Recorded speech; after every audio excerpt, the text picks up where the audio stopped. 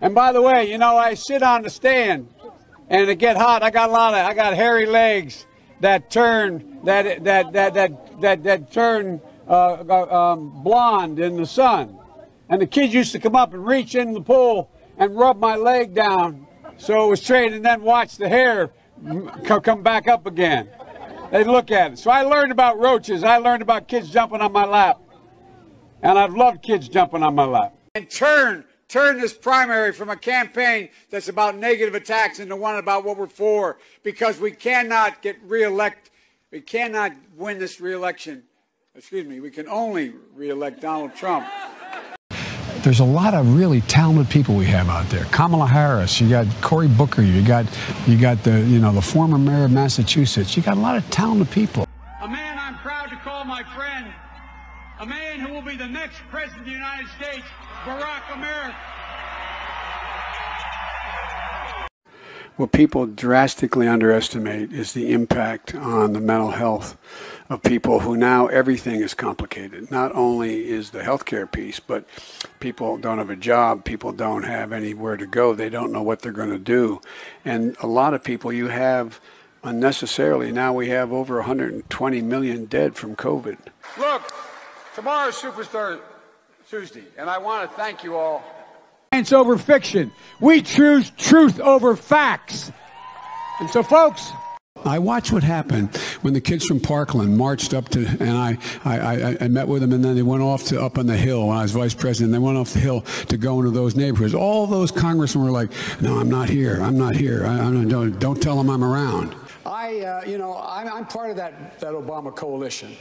I come out of the black community in terms of my support. If you notice, I have more people supporting me in the black community that have announced for me because they know me. They know who I am. Three former chairs of the Black Caucus, the only African American woman that ever been elected to the United States Senate, a whole range of people. No, my point no, is, that's not true. The other one is true. here. I said the first. I said the first. Well, yesterday, yesterday you said you accepted Bernie's apology, and now you're attacking him. Why are you doing that? Why wasn't his apology enough, Mr. Vice President? Why, why attack Sanders? Why, why, why, why, why, why, why, why, why, you're getting nervous, man. Calm down. I learned a lot. And I learned that uh, it makes a difference. This was the diving board area, and I was one of the guards, and they weren't allowed to, there was a three meter board. And you fell off sideways, you landed on the damn, uh, the darn cement over there. And Corn Pop was a bad dude.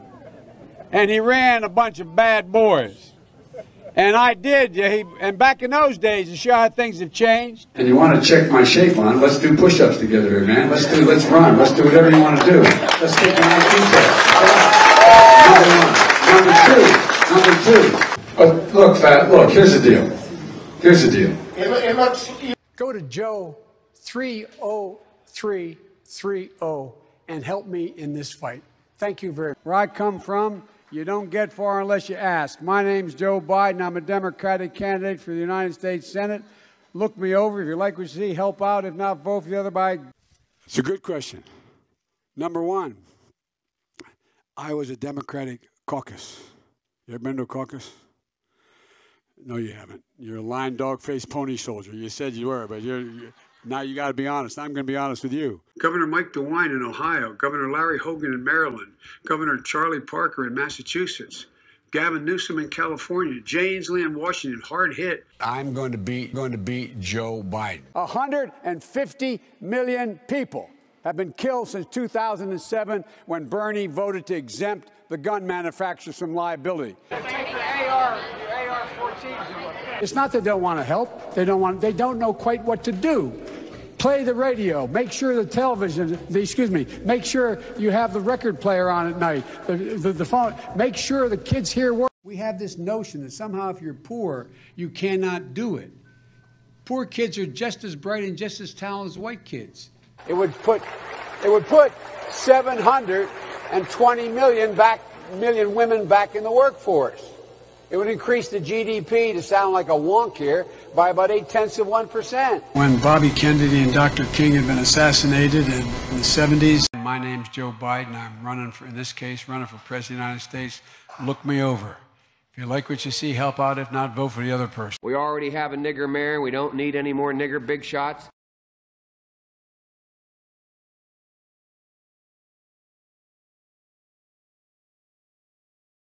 Because think of what's been adopted Milton Friedman's notion that the only obligation. But that all changed with our Republican friends in the late 80s when they adopted Milton Friedman's notion that the only obligation. We find ourselves in a position where you're in a, you're in a circumstance where we've adopted Milton Friedman, Friedman's notion, the conservative economist. So, like, for example, uh, I actually thought in my head when I walked out here, I mean, do I? I know it's. We're friends. It's tricky. No, I- but but I should be able to read better. But I have never in my life done anything in approaching a woman that has been other than trying to bring sol. I'm used to like one of your staff was. I'm used to. I think it's really important we listen. Well, whether I sit down next to somebody and it's not invited to be to, to sit down. So that's my responsibility. I have to be more more aware, and it's totally legitimate. But I, Okay. but anyway, I, I- I think it's legitimate, and I think it is. Uh, and to to to, to anyone, I, but I don't think anyone's ever said. But they have also said, we'd like an apology. Well, look, I, I I'm I'm really sorry if they Na- Nancy Pelosi wants you to say, "I'm sorry that I invaded your space." Sorry I invaded your space. I mean, I, I and I, I'm sorry this happened. I just spoke at a at Dartmouth on health care at the medical school, or not. I guess I wasn't actually on the campus, but the people from the medical school were at the. I, I want to be clear. I'm not going nuts. I'm not sure whether it was a medical school or where the hell I spoke, but it was on the campus. of Keene. I'm back. I've been here a number of times. Last time was, I think, uh, all the way back in 2014. But I've been here before that. I love this place. I lo- look.